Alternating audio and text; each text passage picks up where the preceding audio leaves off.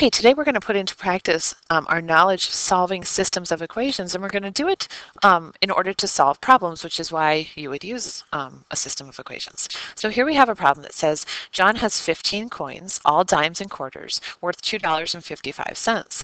How many dimes and how many quarters does John have? So we've done these problems before this year using one variable. So I'm just going to show you really quickly how to do it in one variable. All right, but you don't have to copy this down. And then I'm going to follow it up and do the same problem in two variables. Okay, um, I really like to use a table because it keeps me um, kind of focused here. And basically when you're counting up coins, you want to count up how many of each type of coin you have times their value of each coin in order to get the total amount of money that you have for that coin. Okay, and in this problem, we happen to have dimes and quarters.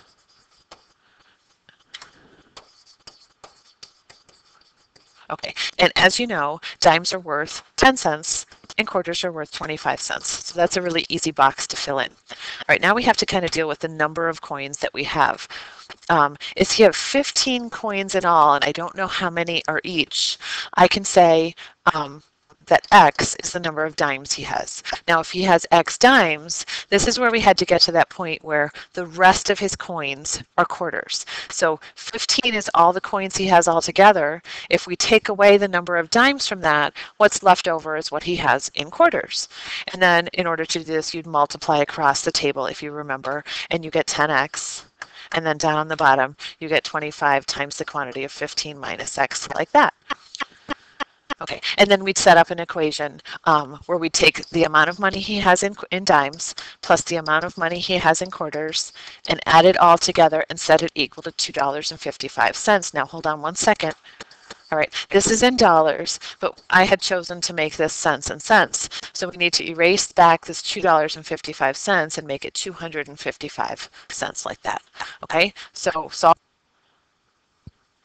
And you can see there that he has eight dimes. Now, if he has eight dimes, whoops,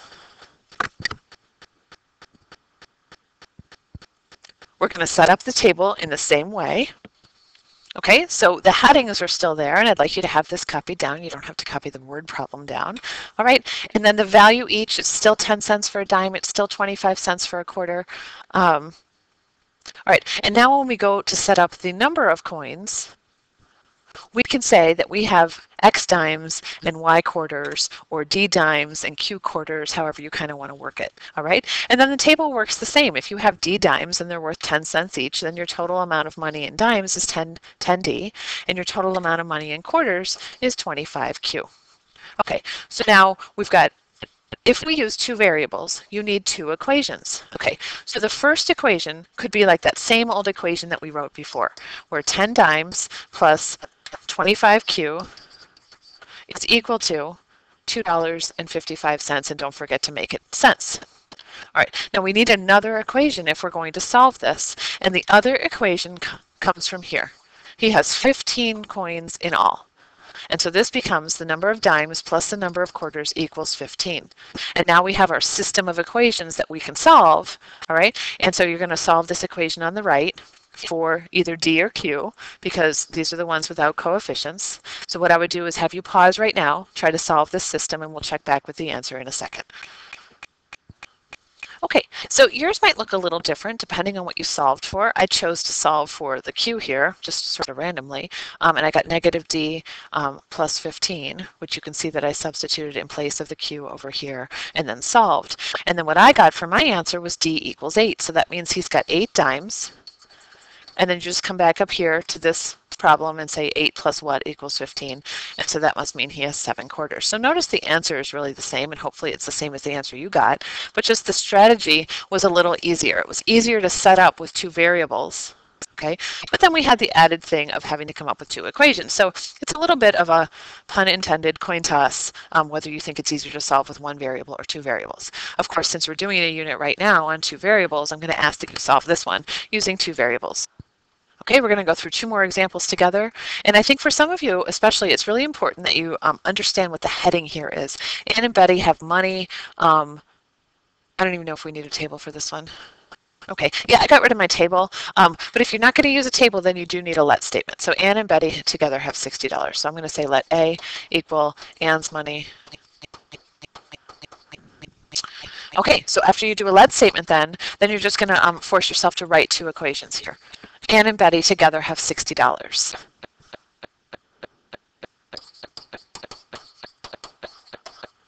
Okay, and then we're going to write the second equation. It says Ann has $9 more than twice Betty's amount. And so if you if you do that one, it can be a little tricky to translate, but if you just translate it like almost word for word, it works out sort of well.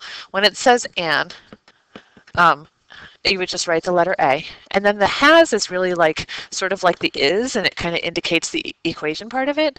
And it, she, she has nine more than twice Betty. And so it looks like that. And you can see now that this is perfectly set up to solve using substitution. So I'm going to let you press pause and then let's compare our answers in a second because I feel like you know how to do the substitution part. Okay, so you can see here I substituted the a in place um, of a right here in this equation and I solved down and I got my b equals 17. So I know that Betty has $17 and that means that Ann has 17 times 2 or 34. 34 plus 9 is $43 and I can add them up and just make sure they add to 60 and that's correct. All right, let's do one more together. Okay, so this one is about investments into two different um, accounts. And for this one, I do believe we need a table. So I'll let you set it up. Maybe you could even try putting a heading on to see if you remember what the heading is going to be. Hey, here's what I put for my heading. Remember, interest is equal to principal times rate times time.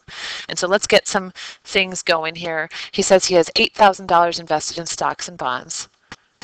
Um, The stocks pay 4% interest, so I'm going to put that as a decimal under rate.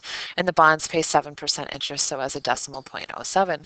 All right, if our annual income, meaning one year, um, from the stocks and bonds is 500. How much is invested in bonds? And so here's where we're going to do it differently. Okay, before, if you remember, don't write this down. Okay, if we knew that the total amount invested was $8,000, then we might have said that they put um, X in bonds because that's the question being asked.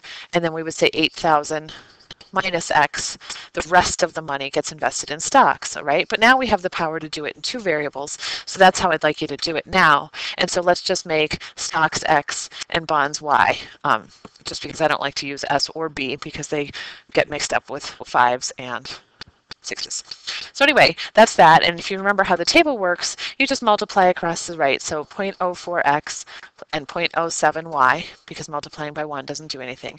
And then it says the total amount of income, meaning interest, is equal to $500. So one of our equations is 0.04x plus 0.07y is equal to $500. Okay, now we need to come up with another equation, and that comes from this $8,000 okay? Which means the amount of principal, the total, if you want to, if you want to put this in the table, you can. The total amount of principal was $8,000 and the total amount of interest was 500. And so your two equations come from adding these guys up and adding these guys up. So your second equation will just simply look like x plus y equals 8,000. Okay, so pause right here and see if you can solve this using substitution. I am, just so you know, going to solve for y. You could have just as easily solved for x. Um, looking at this one, you could choose to substitute as is, or you could choose to multiply through by 100 and clear out the decimals. Your choice. Okay, and you can see that I got for my answer, X is equal to $2,000. So I come on up here to like my let statement or my table, and that tells me that the stocks he has $2,000 in, okay, which I'm not necessarily interested in um, because the question is really asking about bonds. And so then I just need to go to this equation and say the opposite of 2,000 plus 8,000 is 6,000. And this is going to be my final answer, $6,000 in bonds. Okay, that's kind of it. There's um, some different types of problems, but I think you'll be able to handle those when I see you in class tomorrow. Thanks.